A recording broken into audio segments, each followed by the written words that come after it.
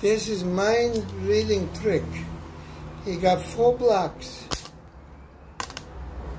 Four blocks. They're all different numbers. All different numbers. Okay?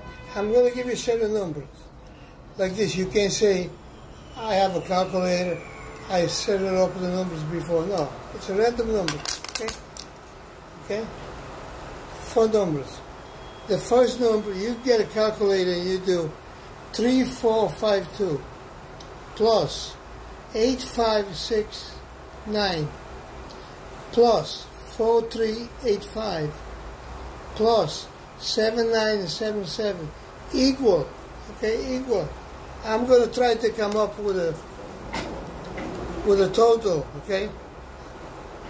I don't know the total. I don't have no calculator because I didn't know which way I was going to turn the number, okay? So I repeat the numbers again.